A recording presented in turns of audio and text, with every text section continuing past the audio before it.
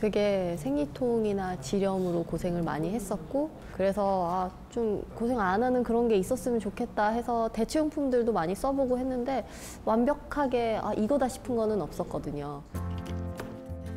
본인의 경험이 바탕이 되어 기능과 디자인이 향상된 여성용 위생 팬티를 만들고 싶다라는 아이디어를 현실로 만들기 위해 시작했습니다. 네, 여보세요? 아, 예. 어, 아니요, 고객님. 아직 출고 안 된 부분이라서 충분히 가능하시고요. 그럼 저희가. 어, 두 개 사이즈, S 사이즈도 M 사이즈 두 개로 보내드릴게요. 직접 고객님들이 문의 주시는 것 같은 경우도 제가 직접 CS를 담당을 하고 있어요. 법적인 관련이나 공장 찾는 거, 마케팅, 투자도 쉽지 않더라고요, 근데. 이런 어려움 속에서도 순조로운 출발을 할 수 있었던 건 아이디어에 날개를 달아준 주위의 도움 덕분이었습니다. 실장님.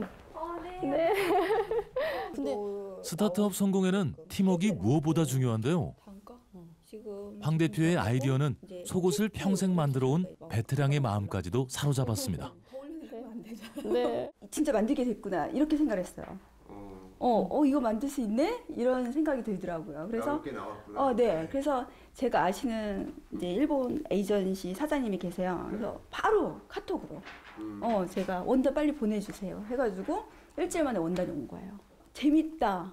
솔직히 진짜 어 재밌는 일 한번 시작하는구나. 저는 이제 그렇게 생각을 하고 어 그리고 이제 진행을 하게 되게 된 것 같아요. 네. 안정적인 모델을 추구하는 대기업 시스템에서 아이디어의 가능성만을 보고 투자를 결정, 진행하기는 쉽지 않습니다. 하지만 스타트업에서의 성공은 기존에 없었던 아이디어야만 가능하죠. 이 차이는 놀라운 결과를 만들어냅니다. 스타트업이 기존의 경제 패러다임에 새로운 비즈니스 모델을 제시하는 계기가 되는 거죠. 대기업 쪽에서는 솔직히 저희를 끌고 가려고 하는 부분인 거죠. 네. 예, 그쪽에서 원하는 대로 저희가 이제 다 맞춰줘야 되는 부분이 있는 거고.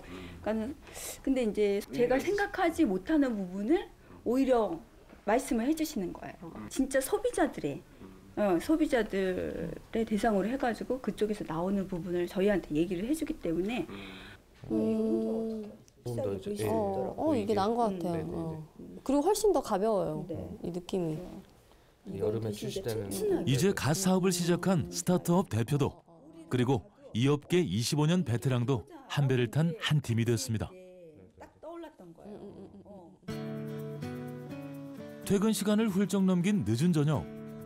황 대표를 포함 직원들 모두 사무실에서 분주하게 남은 일을 처리하고